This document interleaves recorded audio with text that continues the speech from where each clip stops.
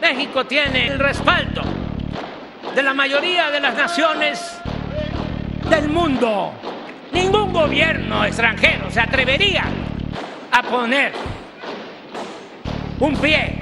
Si lo hicieran, no van a defender a México solo los marinos y los soldados. Vamos a defender a México todos los mexicanos. La patria es primero.